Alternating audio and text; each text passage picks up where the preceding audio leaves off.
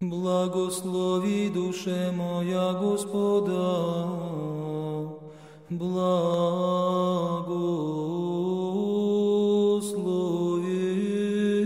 еси, Господи.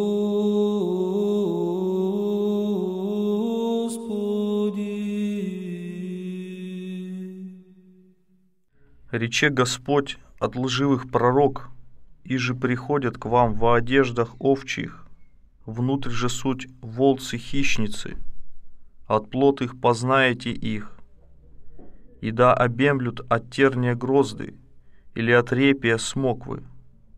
Так у всяко древо доброе плоды добрые творит, а злое древо плоды злы творит. Не может древо добро плоды злы творите, не древо зло плоды добры творите. Всяко уба древа, еже не творит плода добра, посекают е, и во огонь вметают. Тем же уба от плод их познаете их. Не всяк глаголиями «Господи, Господи» внидит в Царство Небесное, но творяй волю Отца моего, и же есть на небесех. Здравствуйте, дорогие братья и сестры! Сегодня вторник, 2 июля, и в этот день Церковь предлагает нашему вниманию евангельское чтение от Матфея, 7 глава с 15 по 21 стих. Давайте послушаем, как это Евангелие звучит на русском языке. «Берегитесь лжепророков, которые приходят к вам в овечьей одежде, а внутри суть волки хищные. По плодам их узнаете их. Собирают ли с терновника виноград или с репейника смоквы? Так всякое дерево доброе приносит и плоды добрые, а худое дерево приносит и плоды худые. Не может дерево доброе приносить плоды худые, не дерево худое приносить плоды добрые. Всякое дерево, не приносящее плода доброго, срубают и бросают в огонь. Итак, по плодам их узнаете их. Не всякий, говорящий мне, Господи, Господи, войдет в Царство Небесное, но исполняющий волю Отца Моего Небесного. Так такое евангельское чтение, дорогие братья и сестры, в этот день Церковь нашему вниманию предлагает. Мы с вами уже говорили, что шестая и седьмая главы Евангелия от Матфея содержат в себе повествование а, Нагорной проповеди. И вот в седьмой главе Евангелия от Матфея содержится третья часть Нагорной проповеди, который говорит Господь окружающему его народу.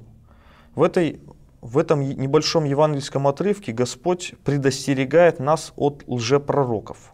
Кто же такие эти лжепророки, которые приходят к нам в шкуре овечьей, да, то есть, как говорит Господь, внешне они выглядят а, благочестиво, то есть э, подобно и всем окружающим их людям, ничем не выделяются, но внутри есть волки хищные, то есть те, которые нас могут растерзать и погубить, погубить стадо, да? стадо как образ Церкви Божией.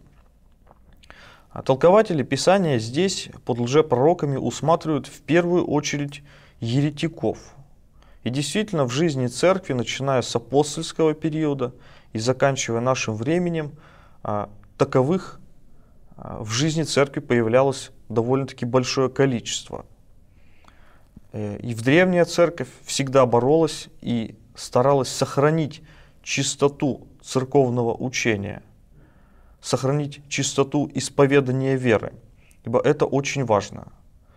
А, мы с вами говорим о исповедании, мы с вами говорим и о догматах веры, но зачастую не понимаем необходимости и важности знания своего вероучения. Мы помним, что, э, как я сказал ранее, церковь э, всегда боролась и сохраняла чистоту веры. Для этого собирались вселенские соборы, многочисленные апологеты писали э, в защиту веры, в защиту каких-то отдельных положений тех или иных, в тех или иных богословских споров. Вот начало Вселенских соборов было положено в 325 году в городе Никей, когда при императоре Константине Великом был собран Первый Вселенский собор, осудивший, а, волновавший тогда в начале IV века ересь Ария. Ну и в последующем Вселенские соборы собирались, и Восточная Церковь знает таковых семь. И последний также проходил в городе Никее в 787 году, который а, боролся с ересью иконоборчества. И вот на протяжении этих соборов а, делом этих соборов было установление тех или иных положений. Но тот привычный нам символ веры, который мы исповедуем, который мы поем из-за божественной литургии, начинающийся со слов «верую во единого Бога», он был составлен как раз-таки на первых двух Вселенских соборах. На Никейском в 325 году и 381 году на Константинопольском.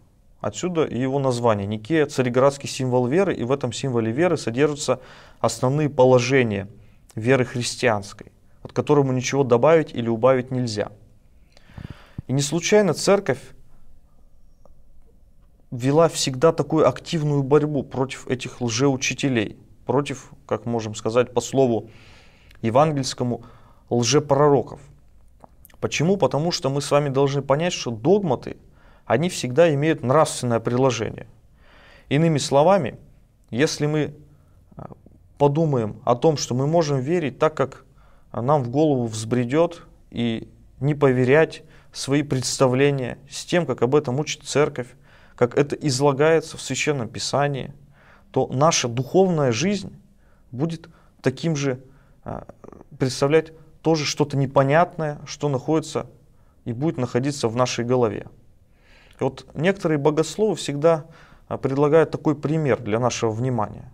Вот если сравнить заповедь и догмат, их отношения друг с другом, можно ли сказать, что есть что-то выше или что-то ниже, или как они вообще соотносятся между собой? И ответ будет очень понятен. Заповедь, как мы видим, их дает Господь в Евангелии, или заповедь Моисея, Моисеева, деколог, который Бог дает народу. Но догмат есть также богооткровенная истина, преподаваемая и усвояемая церковью как общая обязательная истина для всех верующих христиан. И вот если мы попытаемся сравнить эти два понятия, их отношения между собой, то поймем, что догмат есть основание нашей веры, основание заповедей. Ибо если мы не знаем, кто есть Бог, мы тогда не сможем ответить, что Он от нас хочет, ради чего пришел Господь, мы не поймем, как выстраивать нашу духовную жизнь. От этого возникают и серьезные проблемы у каждого христианина. Ибо если он не понимает своего вероучения, не знает его, тогда его духовная жизнь может расстроиться, и он может попасть в глубокую пропасть. И в конечном счете даже может погибнуть из-за этого. От этого Господь предостерегает, в частности от этих лжепророков, еретиков – но под ними некоторые толкователи усматривают непосредственно и самих фарисеев, которые также, которых также Господь именует вождями слепыми, то есть э, непонятно куда ведущими за собой народ, непонятно как толкующими Писание и так далее. По лжепророками некоторые толкователи видят здесь и вообще безбожников, то есть людей, обольщающих прочих. То есть предлагающих некую пустышку вместо Бога, говоря о том, что Бога нет. Собственно, все это дело, вот эта ложь, она происходит от дьявола. Ибо дьявол всякий раз пытается человека от пути правильного а, сбить, сбить человека с толку. Предлагает всегда ему какой-то обман. Потому что он есть отец лжи по слову Священного Писания. Поэтому таковых лжепророков следует остерегаться. Но как понять, кто этот человек перед нами, о чем он говорит и глаголит? Господь здесь явно нам указывает о том, что мы узнаем их по плодам их. То есть не может плодо, э, простите, дерево доброе плодов э, худых творить. Есть от плода э, доброго, от дерева доброго рождаются и добрые плоды. Это внутреннее состояние. Состояние э, такого лжепророка, лжеучителя, состояние такого э, какого-либо еретика или человека заблуждающегося. Это состояние прелести, от состояния гордости, в котором он постоянно пребывает. Это состояние злобы и агрессии к окружающим. И это легко раскусить и легко понять. Поэтому Господь и говорит, что вы увидите, что дерево такое да, так, рождает и такой плод. Внутреннее состояние человека, находящегося и людей, отворачивающего от пути истинного. Это состояние прелести, состояние лжи, лукавства, гордости и тому подобное. Об этом Господь говорит, вы легко узнаете. И в конце этого небольшого евангельского отрывка нашему вниманию предлагается очень важный стих. «Не всякий, говорящий мне, Господи, Господи, войдет в Царство Небесное, но исполняющий волю Отца Моего Небесного». Это очень важный, важные слова Спасителя, о которых нам стоит подумать и рассудить, о чем же здесь идет речь. Но на этом сегодня, дорогие братья и сестры, мы с вами прервемся, ибо это, с этого стиха начнется следующее евангельское чтение, евангельское чтение среды. Ну а мы с вами на этом сегодня прощаемся. Всего вам доброго, до новых встреч и храни вас Господь. Аллилуйя, аллилуйя, аллилуйя, слава